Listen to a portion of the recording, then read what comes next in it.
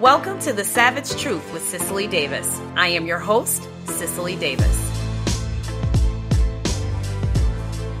Whether it's high school, college, or the NFL, from September to February, every Sunday, Monday, and Thursday night, Saturday for college, respectfully, football fans eagerly look forward to the start of a new season filled with exciting games and matchups between their favorite teams. And on these days and nights, whether it's in an arena, a local bar, or a living room or man cave, Americans are gathered together, mostly men, but yes, also women and children, to cheer on their division favorite for a chance at that end of season Eden, the Super Bowl. Lions and Jaguars and Bears, oh my, it's football season, folks. Help me to pay homage on The Savage Truth with Cicely Davis.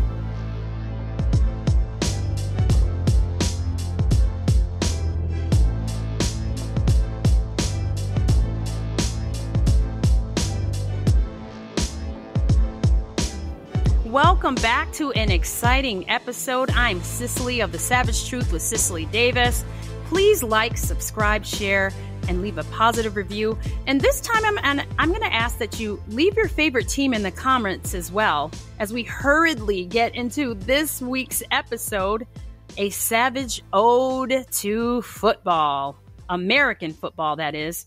And I'm excited to get away from my girliness and flex my sports knowledge this week. It's going to be really exciting.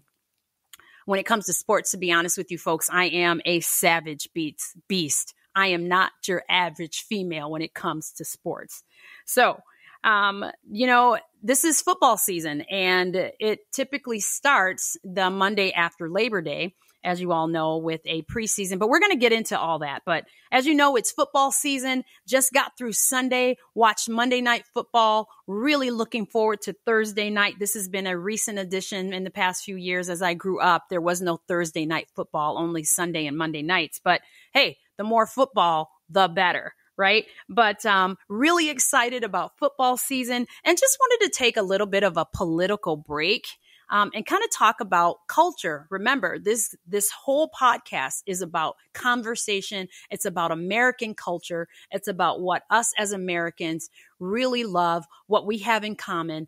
We're going to love the things that we really love, and we're going to join together and hate the things that we really, really hate, and just really work hard to get our American society back and the spirit of America. And when I think about the epitome of the spirit of America, football, American football comes into mind.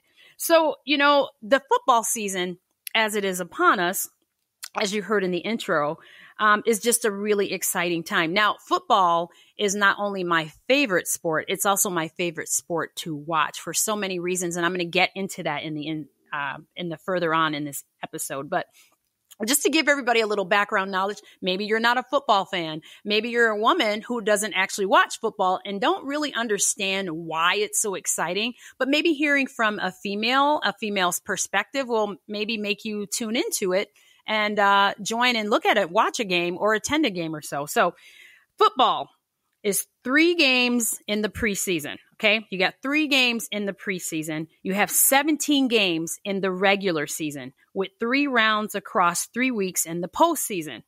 And it's capped off by the Super Bowl. So the postseason is three three weeks. It's three rounds across three weeks, and it's capped off by the Super Bowl. Now, let's talk a little bit about numbers. Let's talk numbers of football. It's four chances to gain 10 yards. Okay. So you talk about downs. We're talking about four chances to gain 10 yards. Where it's four quarters with 15 minutes apiece on a field that's 91.44 meters. That's 100 yards, folks. That is the measurement between the goal lines with two end zones at 10 yards apiece, making that 120 yards total. The length of that long green and white fantastic rectangle being 120 yards um, end to end and 160 feet wide. So there are 32 teams in the league. Now, the league, of course, respectfully being the NFL, we have 53 players on the team, only 22 players at a time on the field 11 on offense, 11 on defense, no more than 22 players on the field at once with a minimum of seven. So you cannot have play if there's less than seven players, and you cannot have play if there's more than 22 players on the field at one time. And then, of course, you have the players, the positions. You have quarterbacks, the offensive linemen, you have the running back, the fullback, the tight end, the wide receivers, and people forget about the holder and the center. The holder, the guy who literally holds the ball for the kicker, and the center, the guy who passes the ball to the quarterback so that he can pass that ball. All play a vital role in the team with specific duties and roles to get that pigskin in the end zone for the six points and one additional point for that goal kick off of a touchdown or a settlement of three points off that kick if that touchdown is not attainable. Hopefully, I'm not losing you. Um, and then for those of you who are aware of football, this is actually exciting you because I literally have goosebumps while I'm talking about football right now, truly. And you have fumbles and you have tackles and you have touchdowns and you have blitz and you have interceptions. They all contribute to what is by far my favorite sport, again, to watch and to attend. Now, whether you're a ram or a panther or a lion, a Bengal or a jaguar, a falcon or an eagle or a raven, a cowboy or a chief, a titan, a viking, a steeler, a saint, or a giant, you have to admit this game is exciting. It's fun and it's engaging and it's addictive because it's physical and it's strategic and it's complex and it's smart. And it's a time when Americans are joined together for three to three and a half hours or so loving, yes, loving their favorite team, loving their favorite player, even loving their favorite owners. But through all that love of the sport, they're loving the country that brought it to them. This to me is what is exciting about football. This is why I very specifically and personally love football. So, a little bit about me. Um, I know that I've said this in previous um, episodes. If you haven't listened, I am a very, very competitive person. I hate to lose. I am a, I'm a sore loser. I'm a bad loser. I am not a gracious loser at all. I absolutely hate to lose. I am athletic. I was a tomboy as a kid. Um, I was a tomboy, true and true. Um, I hated wearing skirts and I would rip and run literally all day. I'm from inner city Rochester, New York. I was an inner city kid and I did things with my friends outside. I played ding dong ditch. Okay. For those of you from the inner city who are hearing this, you know what ding dong ditch is. For those of you who are country or rural, let me explain it to you because you might have had your own country version. Ding dong ditch is really simple, okay? Because kids make up this stuff and it's just never complicated when kids make up games but they're always the most fun. You literally go up to a door and you ring the bell. And you literally will, you most likely will choose that grumpy or cranky or mean or scary person in the neighborhood. And then you wait for them to get close to the door, if not answer the door, and then you run. and that's it.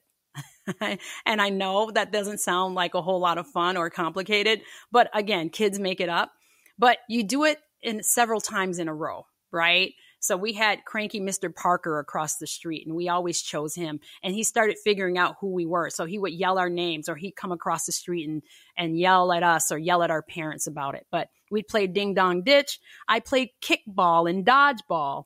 I played with any game with the stick, invented a game with the stick.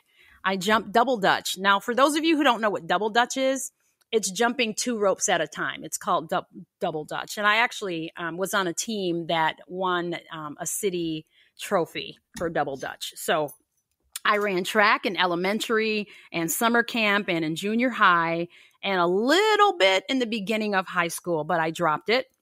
I tried volleyball, I tried basketball, but I actually stopped growing. My growing spurt was stopped short and I lost interest and I actually started turning girly and became a cheerleader. So, but I was always, always physical. And I also played football in the streets and in the parks with boys. And the boys were rough. Okay. They tackled, they clotheslined, they tripped us. I skinned up my knees and my elbows and I learned to be tough and competitive and I learned how to take hits this is how I learned the game of football. Sometimes the parents would join in.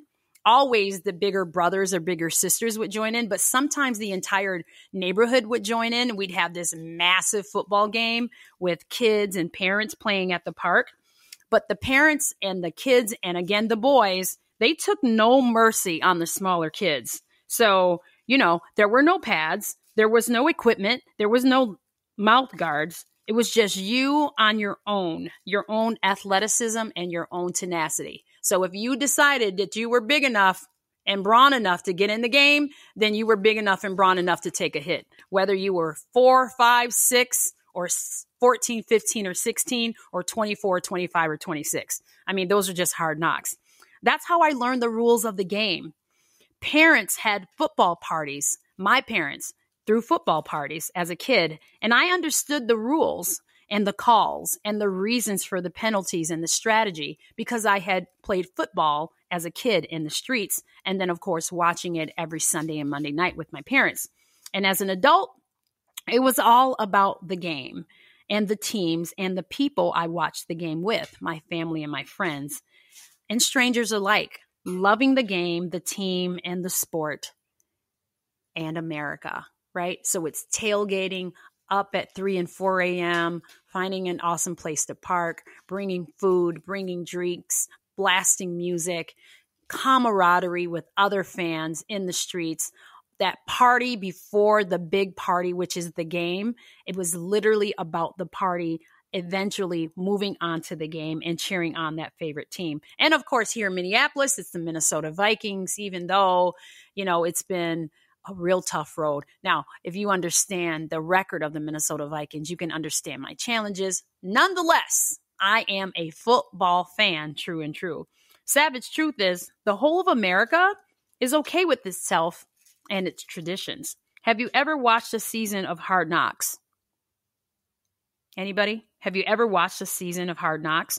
So, Hard Knocks is a reality sports documentary TV series produced by the NFL Films and HBO.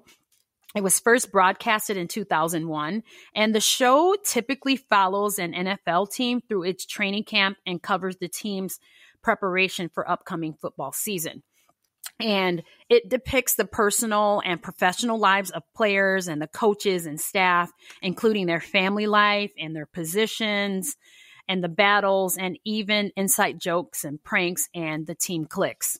And it particularly focuses on rookies and their adjustments to playing in the NFL, usually with emphasis on the team's most recent top draft pick. And it will also focus if you tune into it. And I highly recommend that you do watch Hard Knocks. It also focus on um, undrafted journeyman players who are attempting to make the team. So remember when I talked about how there's 53 players? Well, a team will typically have about 90 players and then they go through a process of elimination, particularly during camp and during that preseason to decide who that final roster 53 team members are. So the NFL and HBO have called Hard Knocks the first sports based reality series in television history. So, this is just a fantastic show to watch because it really gets you to understand the game and who the players are because you only get um, a different perspective of who they are when you're watching on Sunday, Monday, and Thursday nights, but who they are personally, their quirks, um, their personalities, their camaraderie, you know, what their weaknesses are, what their strengths are, whether they're funny or serious, what makes them tick, what their family life is like, their background, where they came from, how long they've played, you know, um, what makes them special, what makes them the standout, if they were traded and why, and their journey, and on and on and on. It's covered in the show called Hard Knocks.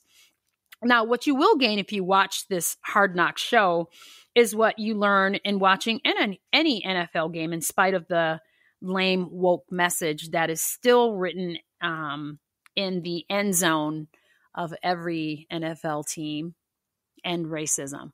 Now, this is something that has started in 2020, where the NFL has declared that um, it's going to have etched in every end zone of every team and racism. It's their their take or their attempt at social justice.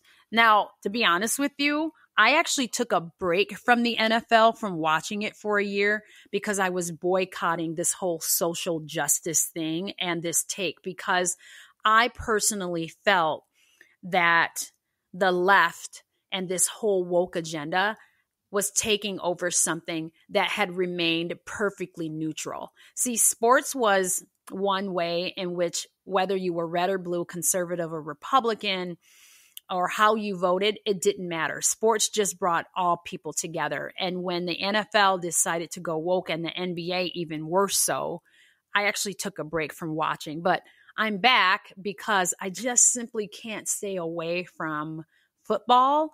And they have actually eased up a bit. And I have to bring you current events and part of American culture and society and the strength of society, especially here in America, of course, is football. But what you do learn when you watch football, when you watch Hard Knocks and you watch any NFL game, you learn that the media during that game actually forgets to be woke for those three to three and a half hours because of the images. The players and the staff and the fans of both sexes all colors and creeds and religions and ages together, loving a sport and the country that gave it to them. The savage truth is there is no racism. There's no racism. You simply don't see it. If you watch Hard Knocks, you recognize there's no racism. When you watch the NFL, you watch a game on any particular game on any Sunday or Monday or Thursday night, you just see people coming together. Guys on the field and physicality and complexity and strategy trying to get that pen that pigskin into the end zone as much as possible.